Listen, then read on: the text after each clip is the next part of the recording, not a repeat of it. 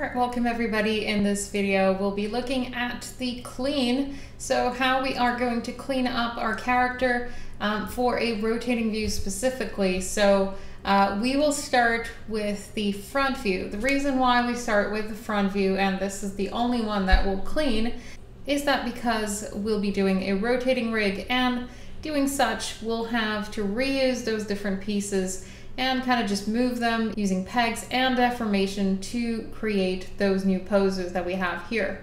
So um, instead of drawing each and every single one of those other views, we'll basically just recreate them using the pieces that we have in the front view. And the reason why we're starting with the front view is that pieces will distort a lot better from a piece that hasn't already been distorted. So for instance, if I have one that is kind of skewed and a lot smaller and the pupil is actually scaled down a little bit or this one for instance. It'll be much better to go from this one here and scale it down into something like this rather than the opposite. Um, so we'll be starting with this one. We also have to kind of keep in mind certain things as we start cleaning up our character such as designing the unseen um, when I'm talking about designing the unseen, I'm talking about, for instance, the tail, which we have um, over here in some of the other views, but not in the front one. Doesn't necessarily mean that it's not there.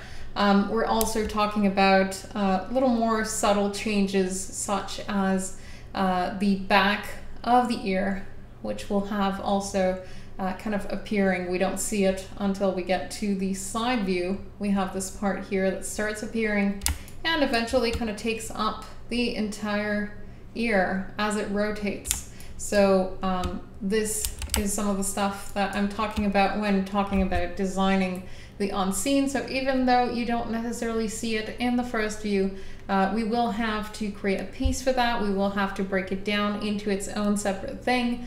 So make sure that you include those inside of your clean, um, even if you just design them in one of the other layers.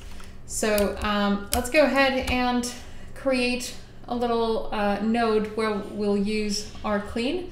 This is something that we've done in the other uh, cleaning tutorials of the previous rigging courses. So I won't necessarily uh, teach you guys how to clean. Um, I'll show you actually the final result that we have here.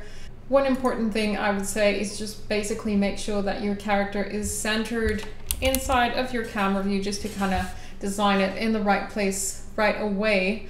And this way you can clean up on top of it and have basically just the entire character. Um, so you'll notice that in the ref that we have here, some of the pieces don't necessarily have line.